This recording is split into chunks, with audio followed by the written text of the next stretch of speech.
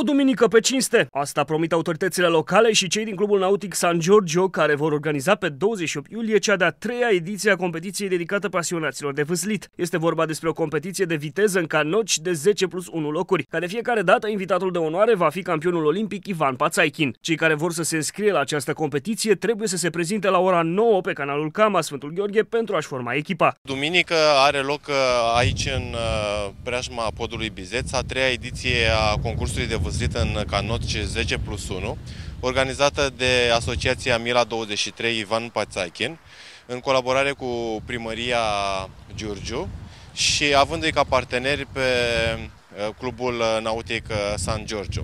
Să sperăm că va fi o vreme uh, măcar cam cât este astăzi. Sperăm într-o participare la fel de mare ca și anii trecuți astfel încât uh, să facem din această zi o zi frumoasă. O duminică cei prezenți vor avea parte de o petrecere câmpenească cu mici bere și ciorbă de pește. Descoperă România naturală văzută din barcă este o campanie națională de promovare a patrimoniului național prin promovarea mișcării în aer liber.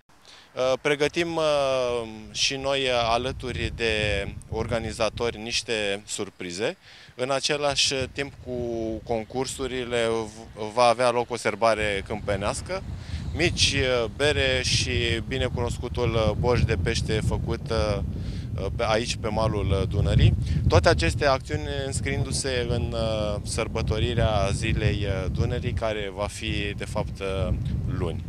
Sperăm iarăși ca a treia ediție aici la Giurgiu a spectacolului România să fie un exemplu pentru toate celelalte orașe, un exemplu cu care să ne mândrim și pe care să-l folosim ca reper și în anii viitori. Asociația Ivan Pațaichin, Mila 23, va pune la dispoziția concurenților canoci. Anul trecut au fost puțin peste 100 de persoane care s-au înscris în competiția de vâsli pe Dunăre și în acest an participanții vor primi diplome și premii puse la dispoziție de organizatorii evenimentului.